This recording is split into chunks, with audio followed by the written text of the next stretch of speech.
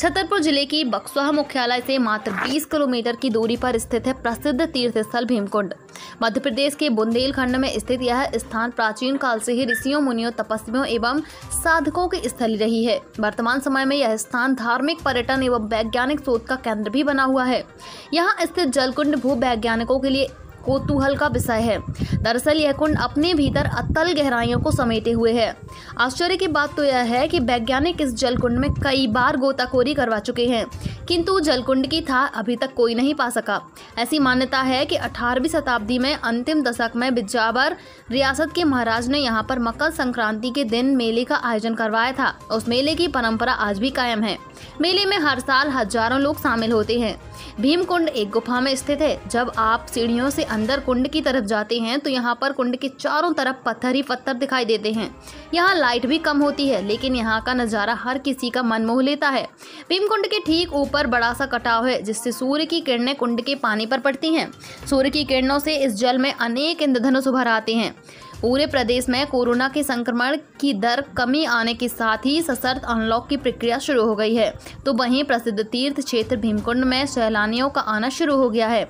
घने जंगलों के बीच स्थित प्राकृतिक सौंदर्य से लवरेज भीमकुंड में इसके बारे में जानने के लिए एमपीसीजी की टीम ने वहाँ पहुँचे सैलानियों से बात की। तो वही जानकारों ने भी बताया भीमकुंड का रहस्य। सुनिए उन्हीं की जुबानी।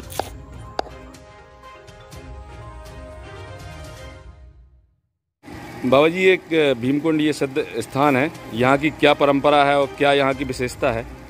ये अज्ञातवास का है। अज्ञातवास में जब पांडव लोग वनवास में थे तो एक द्रौपदी को प्यास लगी थी, पांचाली को।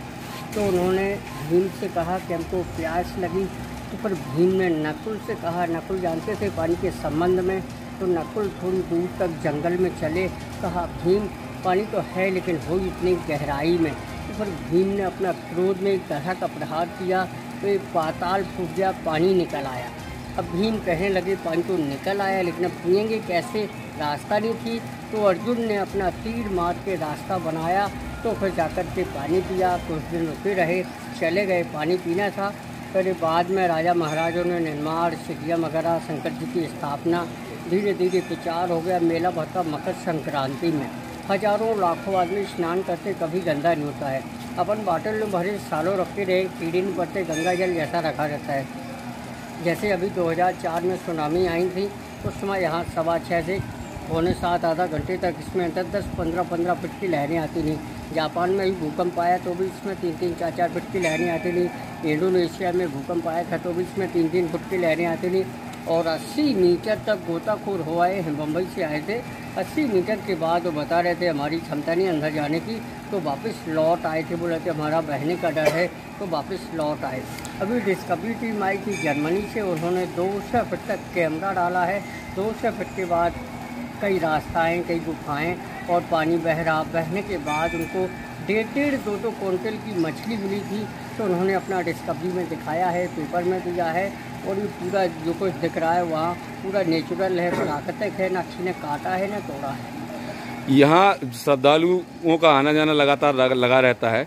यहाँ श्रद्धालुओं का कहना यह है कि पिछले समय से अभी जल स्तर में बहुत कुछ कमी आई है। थोड़ी कमी आई है क्योंकि वाटर गर्मी के स्थल पर वाटर लेवल कम हो जाता है वैसे कम नहीं होता है चाहे मोटर चलाते रहो चाहे कुछ भी करते रहो जितना अभी है उतना ही रहेगा। धन्यवाद।